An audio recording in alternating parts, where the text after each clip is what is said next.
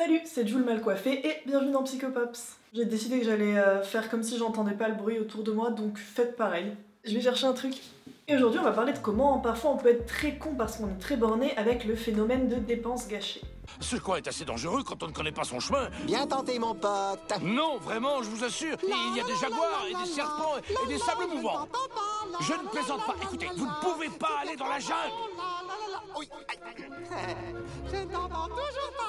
Bon, euh, j'exagère quand je dis ça, hein, mais je vais m'expliquer. Alors, le phénomène de dépenses gâchées, c'est un phénomène qui apparaît chaque fois qu'un individu reste sur une stratégie ou une ligne de conduite dans laquelle il a préalablement investi, en argent, en temps, en énergie, et ceci au détriment d'autres stratégies ou lignes de conduite plus avantageuses. Et c'est une définition de Joules et Beauvois tirée de ce livre que je vous conseille. Alors quand je dis Joule, euh, c'est pas moi. non, non, c'est pas lui non plus. Euh, c'est lui, voilà. Il aime bien nifler les livres. Pour faire simple, si on a pris une décision qui nous a ne serait-ce qu'un minimum coûté et qu'on se rend compte en cours de route que c'était pas la meilleure décision à prendre, eh ben on va quand même rester campé sur cette décision même s'il est encore temps de changer d'avis. Euh, c'est comme pour tout en psycho, c'est le plus souvent. Hein. Prenons l'exemple des transports en commun qui nous concernent tous ou nous a sûrement déjà tous concernés dans notre vie. Imaginons que vous allez prendre votre métro et là vous entendez une annonce qui vous dit que celui que vous vouliez prendre est justement bloqué sur les voies à cause de trous du cul qui se baladent sur les rails. Évidemment plusieurs choix s'offrent à vous, hein. Euh, prendre un autre métro, euh, y aller à pied, si vous n'avez pas peur de la mort prendre le bus, ou bien tout simplement attendre parce que si ça se trouve ça va durer que 5 minutes et de toute façon c'est votre ligne directe donc ce sera sans doute plus rapide. Et bien mettons que vous choisissez effectivement d'attendre 10 minutes passent, puis 20, puis 30. Vous le sentez le vécu ou... Euh... Voilà, vous commencez quand même à être bien vénère contre les trous du cul qui se baladent sur les rails, hein, on va pas se mentir. Et pourtant, vous allez quand même sans doute rester là à attendre plutôt que de prendre un autre trajet. Parce que bah, vous avez déjà dépensé du temps et de l'énergie dans cette option-là, et euh, vous auriez l'impression de le gâcher si vous abandonnez. Alors que peut-être que même en changeant d'avis au bout de 30 minutes, eh bien vous seriez arrivé plus vite parce que votre métro il peut encore mettre 30 minutes à arriver. Autre exemple, imaginez que vos potes vous traînent en boîte, euh, vous avez pas trop envie d'y aller, en plus l'entrée ça coûte 15 euros, ça picote un peu le fondement, mais euh, comme vous les aimez bien et que vous voulez leur faire plaisir, bah vous acceptez d'y aller et de débourser euh, ces 15 euros. Et là vous passez une soirée horrible.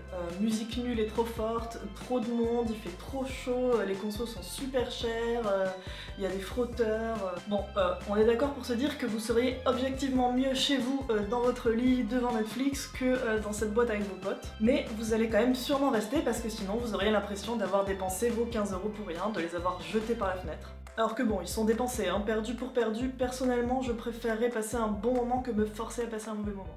There's a time when a man needs to fight and a time when he needs to accept that his destiny's lost. The ship has sailed and that only a fool will continue. Truth is, I've always been a fool. Sandra Templeton, I love you and I will marry you. Vous entendez mes voisins qui parlent dans le couloir? C'est excellent. Apparemment la mairie est moche.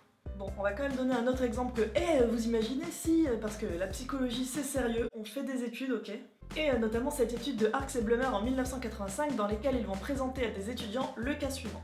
Ils ont hypothétiquement dépensé 100 dollars pour un week-end de ski dans le Michigan et 50 dollars pour un week-end de ski dans le Wisconsin. Mais voilà, ils se rendent compte que ces deux week-ends sont en fait le même week-end. Et évidemment, c'est non remboursable. Ils ont donc dépensé 150 dollars et ils vont devoir choisir entre ces deux week-ends, celui dans le Wisconsin, celui dans le Michigan. Celui dans le Michigan leur a coûté plus cher, mais celui dans le Wisconsin est plus attractif, il a l'air beaucoup plus fun. Et eh bien une majorité des étudiants va tout de même choisir d'aller skier dans le Michigan. Bon, ils préfèrent cette option-là parce que comme elle leur a coûté plus cher, ils ont l'impression d'avoir perdu moins d'argent. Alors qu'encore une fois, l'argent il est dépensé, hein, donc autant aller à l'endroit où on va le plus s'amuser, même s'il était moins cher à la base. Et vous alors, plutôt team fun ou plutôt team flouze Vous pensez que rien ne se perd? Vous voulez à la fois me mettre un pouce bleu et partager la vidéo? Eh Bien, vous n'avez pas à choisir, vous pouvez faire les deux, vous pouvez en plus vous abonner, euh, mettre la cloche, participer au Tipeee, mettre des commentaires pour qu'on puisse discuter, me suivre sur mes réseaux sociaux, tout ça, tout ça. En tout cas, moi je vous dis à très vite et surtout n'oubliez pas de relire régulièrement tous les Harry Potter parce que c'est toujours aussi bien au bout de la 37ème fois.